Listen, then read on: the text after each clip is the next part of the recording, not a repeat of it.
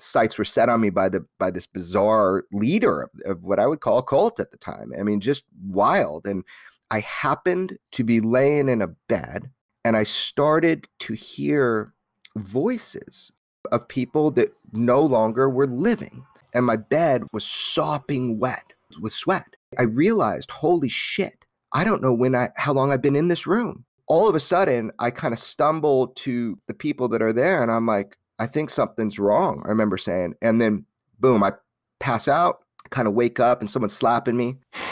They were furious. I had a temperature and didn't know it was 105 in my armpit. Oh my God. So it's like 107 in your brain. So I had sustained this prolonged fever for days. Last thing I know, I get this injection in my butt, and it felt like somebody pulled my head out of a dunking tank. Like all of a sudden, I was back what the fuck just happened?